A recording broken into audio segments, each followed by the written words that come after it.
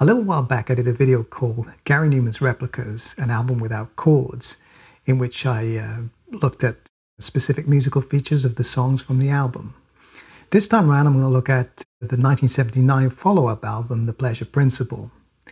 Now, like replicas, the pleasure principle shares common characteristics, such as uh, songs created from synth based riffs, um, uh, no use of chords, and narratives about technology in the future. Although on this album, Jess Lidyard was replaced by uh, Gary Numan's new drummer at the time, Cedric Sharpley. As a matter of fact, Cedric Sharpley was the drummer for the 1970s prog rock group Druid.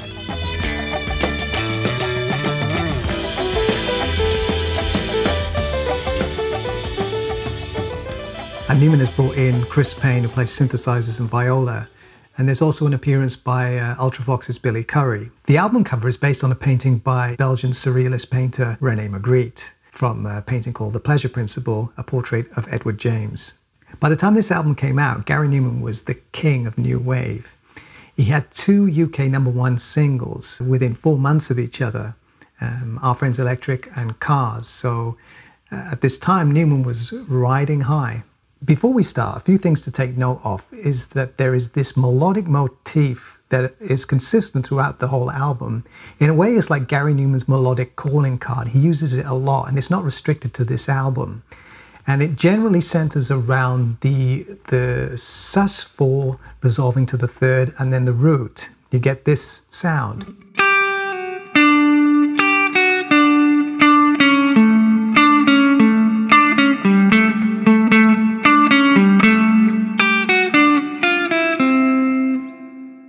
So this particular motif appears in various incarnations throughout the album. So I just wanted to note that. And also there are no chords. Just like replicas, there are no chords. It's all riffs.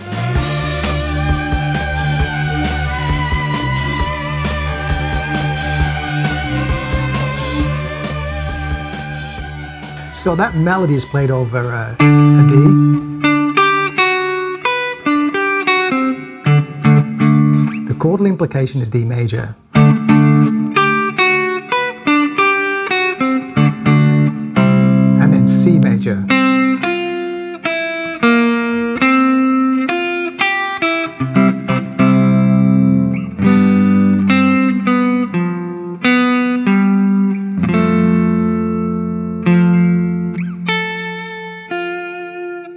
Interesting thing, Gardner is playing the melody in the bass, but he's sliding to the notes, sliding up and then down to the, the notes of the melody. So you get this.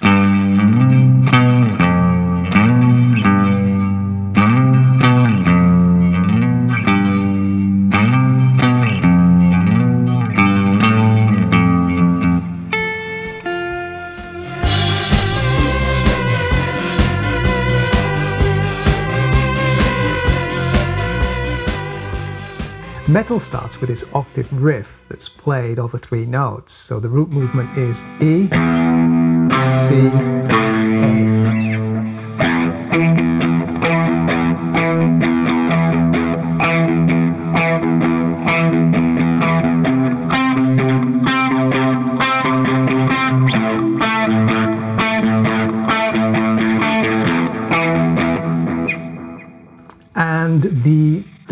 introduced by this uh, uh, drum roll on the snare, but it's going through a delayed flanger, so has an interesting kind of uh, effect.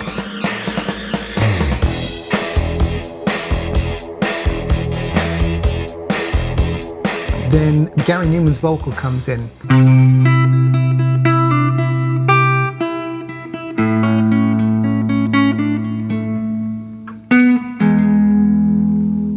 That melody is played over the C,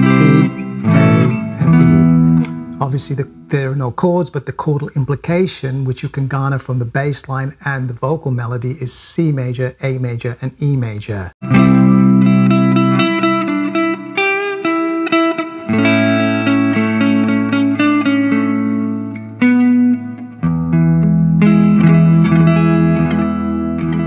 The Numan motif appears again.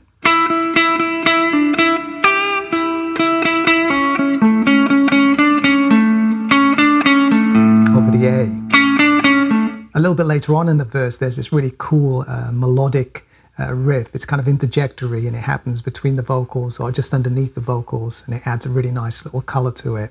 So it's over the C major.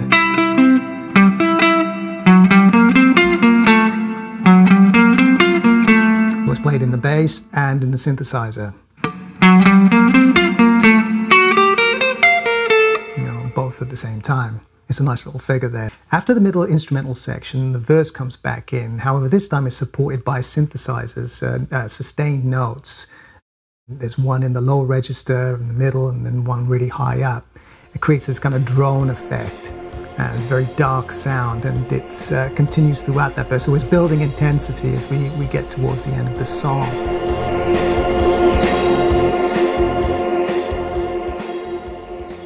Third track on the album is Complex. Now, Complex was released as a single just after Cars. Um, and what I find remarkable about this, the fact that it was released as a single, is that um, Gary's uh, Gary Numan's vocals don't come in until one minute and thirty seconds. The tune is only just over three minutes, so it takes a minute and a half before his vocals actually come in. This was quite a bodacious move because usually uh, pop songs, you know, uh, the, the vocals would come in sooner. The chord changes to this song are exactly the same as Airlane. In Airlane, you had D major, down to C major, and then G major, down to F major. I'm referring to chords that are not really there, but they're implied. So every time I mention a chord, it's implied, it's not actually played. Some of the notes in the melody are quite interesting, played against the bass note. For example, when we get to the... It's implying F major 7 there. It goes back to G. It goes to that, that's uh, D flat and C sharp note. That implies a, a G Lydian. G major, back to F major. Then after Cedric Sharpley's roll, the band come in and play a melody. The melody is played by the viola and the synthesizer.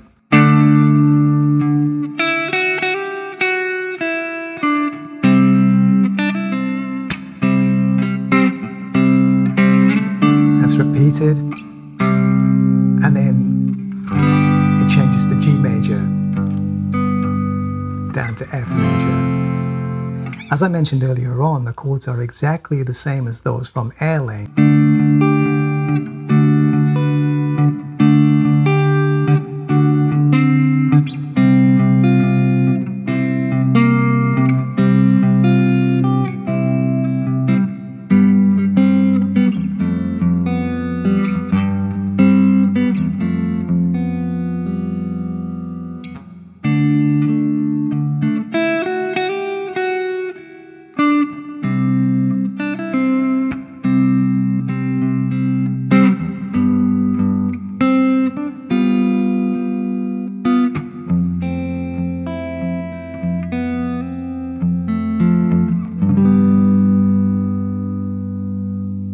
Films begins with this uh, low register sustained note in the polymoog, and uh, comes in with this drum roll and lays down this really nice groove with uh, Gardner coming in with the bass line.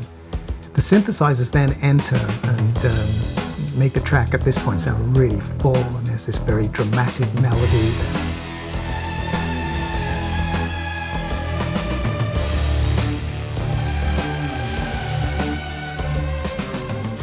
melody is played over E and D root notes.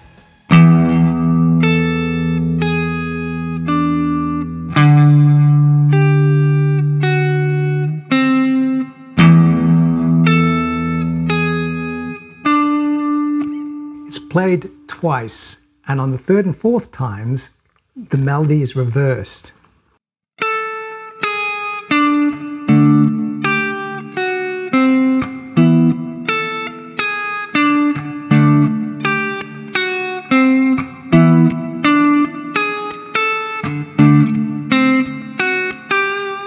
As I mentioned in my last video on Gary Numan's replicas, uh, I really like Paul Gardner's playing. Uh, he plays some really nice little turnarounds, little figures here and there.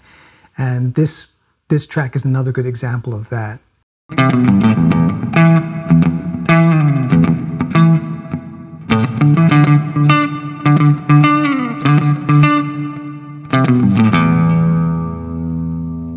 Another thing I might add that um, Gardner uses a chorus pedal on his bass pretty much throughout the album.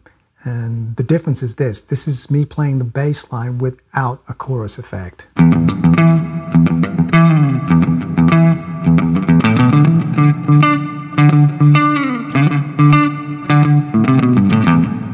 And this is with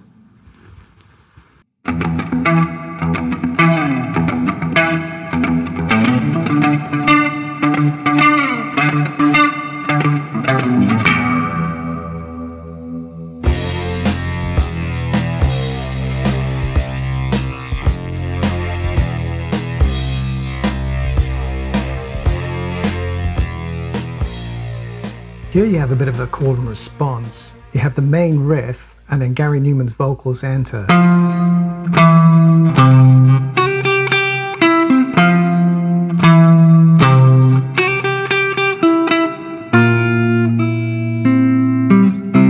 it goes to that really nice change. So it's in C, and then the root note goes down to B flat. And this is implying C major, because you've got the C in the root, and Gary Numan singing the fifth, third, and the root. And then it goes down to B flat, and he's singing an F to E natural, which gives you the B flat Lydian, which is a beautiful sound. It goes back up to the C.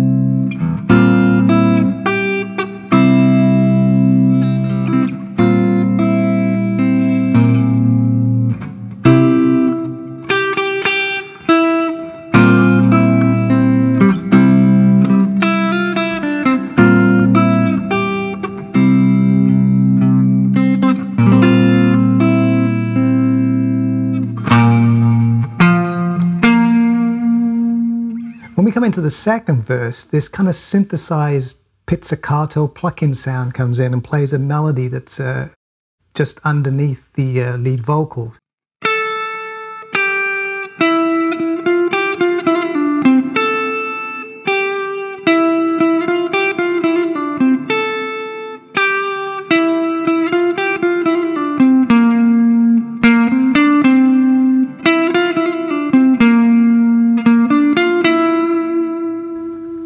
Little melody there. After the second verse, it breaks into this beautiful ascending melody that's played in the synthesizer. So, following the root movement of C to B flat, the root then goes to G.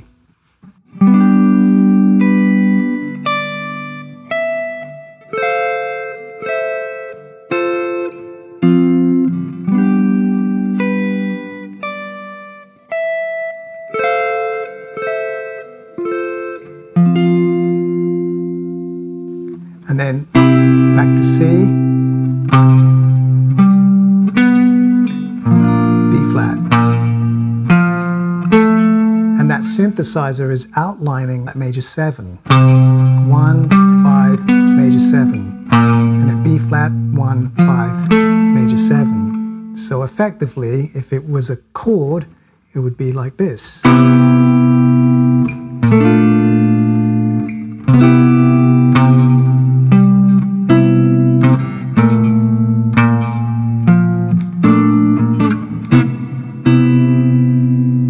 This one has a great outro as well. They just get into the groove and jam out on that G.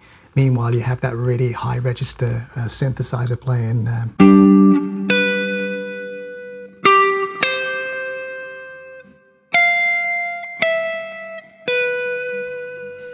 I really like uh, the some of the roles that Sharpley plays. You know, he holds down the groove, but every now and then he does this little kind of skip on the snare drum. Just propels it forward. It's a, it's a fantastic outro. I really like it.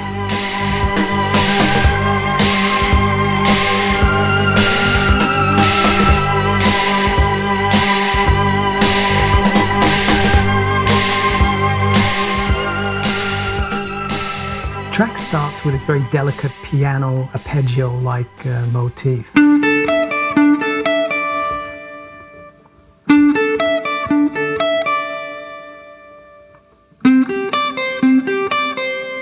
it's essentially D major down to C major. And then the band come in quite dynamically. They come in with that uh, recurring um, uh, ostinato in the synthesizer I think it's the synthesizer and the piano.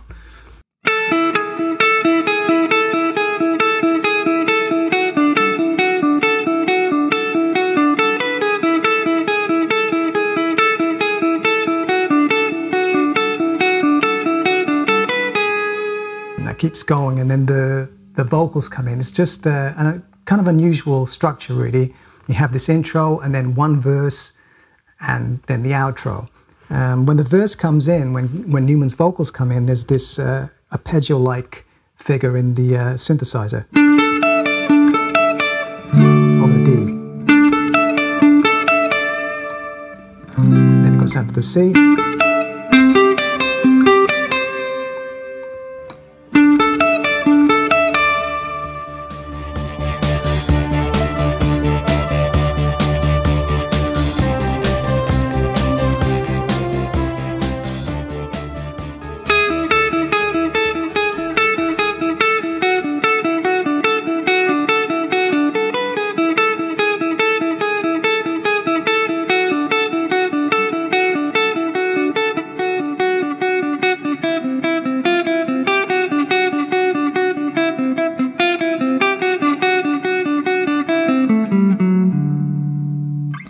there's that anthemic, ostinato like figure happening in the keyboards and the piano. And then the band stop, and you have this really soft piano playing the same figure but uh, transposed with the uh, viola playing these really high, I think it's A to G.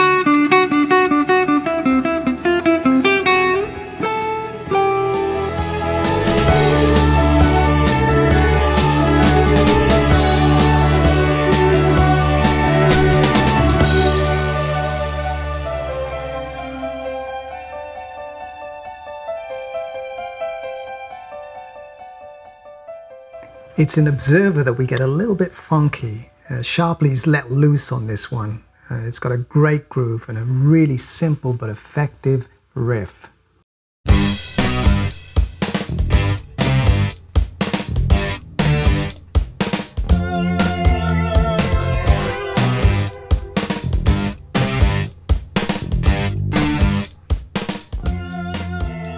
The main part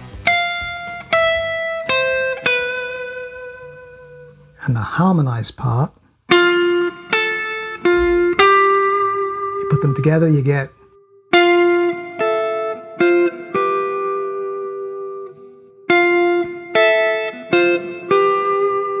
coupled with that uh, riff.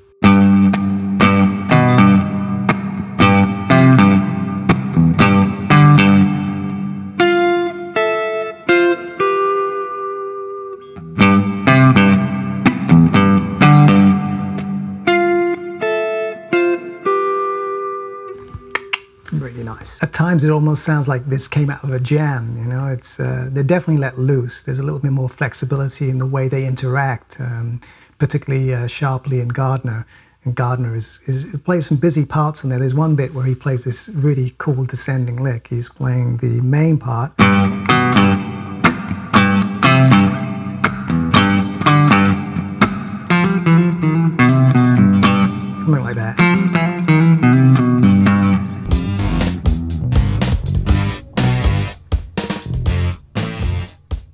Conversation utilizes the Numan motif in the, uh, the vocal melody.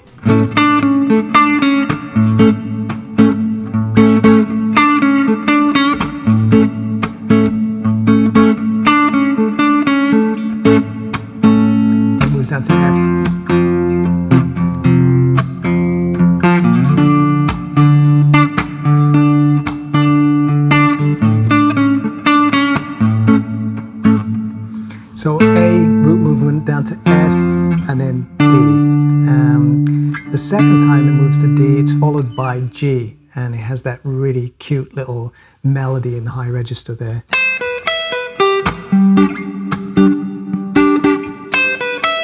I love that. uh, there's a bit later on where there's the viola playing this ascending line uh, just before that little motif.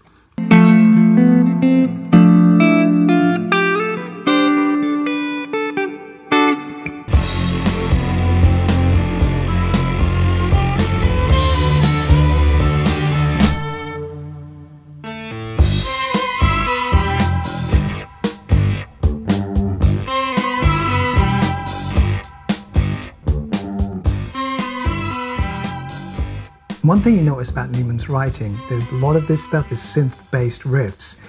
Um, but they're outlining chords and they're outlining major chords mostly. I don't, I don't think there are any minor chords. Uh, there's no implication of a minor chord on this album. They're all majors. Um, so the bass line A, F, D, and obviously we're, we're sort of gathering information about what the chord could be from the vocal melody and the bass line. And uh,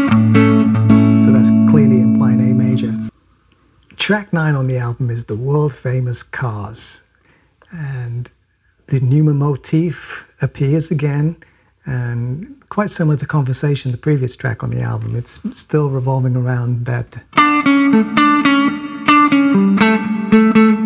In fact, it's in the same key, it's in the key of A.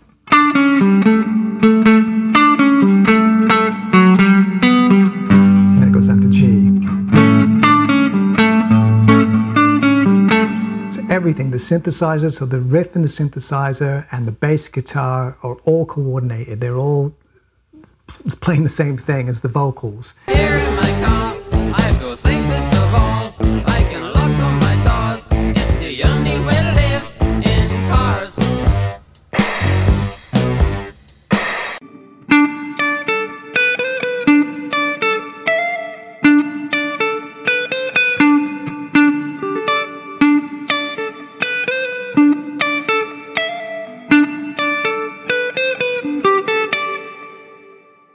Quite like that note in there. It goes, it's kind of a bluesy note. It's over the D. Almost momentarily implying the blues because you get that sound.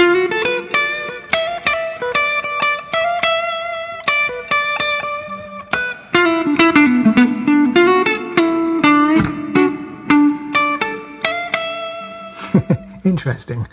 In the outro, you have the Poly Moog being used to its fullest, uh, the main sort of uh, high register melody.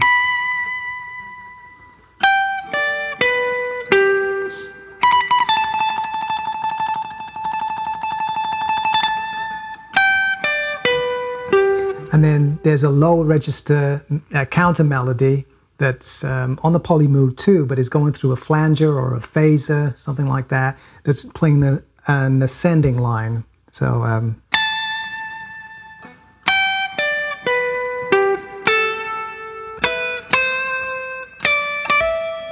uh, it sort of improvises around that um, those melodies there, and it's a great sound. That fa- that sound that's going through a phaser, the Poly Moog going through the phaser, kind of very dark and sort of ethereal.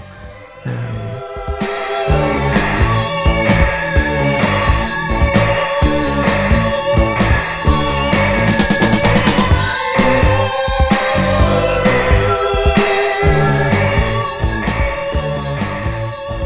album finishes with the track Engineers, and this has a really interesting uh, uh, rhythm to it. It's a sort of uh, hypnotic, robotic march. Uh, that's the, the best image I can conjure up, really. It's, uh, it does convey that kind of imagery, at least to me anyway. This kind of marching, constant, sort of consistent um, uh, rhythm you have there on the snare drum.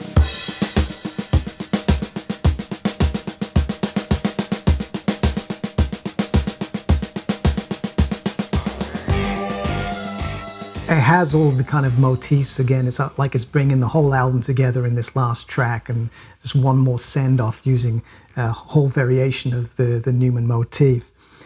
When the vocals come in, you have this melody.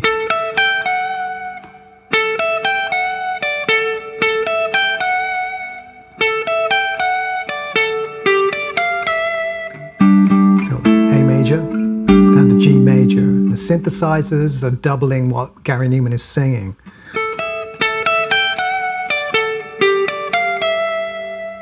And I love the outro as well. The, the, the, melody plays it, it then goes down to F major, and then there's the melody, but there's another synthesizer that's layered, a very low register one. Sounds like it's going through a phaser too, and it creates this wonderful swell.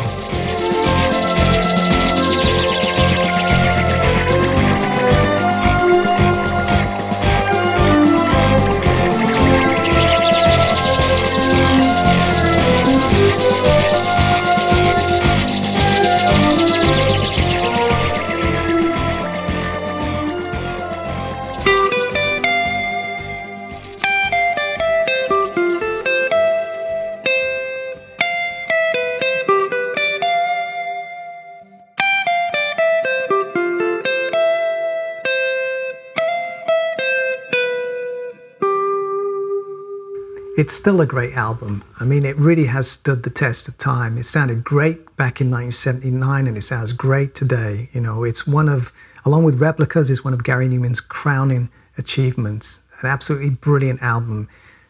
You know, if you break down the musical structure, it's very simple, you know. But obviously, Gary Numan had the, the good taste to use um, the synthesizers in a really effective way and very resourceful, you know, using synthesizers to create this kind of orchestral sound, you know. It's, um, and, and obviously, this is the reason why there's no chords in there. He, he's smart enough to realize that well, as soon as you start putting chords in there, you lose the essence of the synthesizers, the sound, the textures. I mentioned this a little bit in my replicas video. Um, so yeah, it's definitely up there. It's one of the greats, and um, I hope you enjoyed this video. I hope you enjoyed the rundown, and it's sort of uh, helped you to realize some of the things that you might not have noticed before. And uh, anyway, thanks for watching, and I'll see you next time.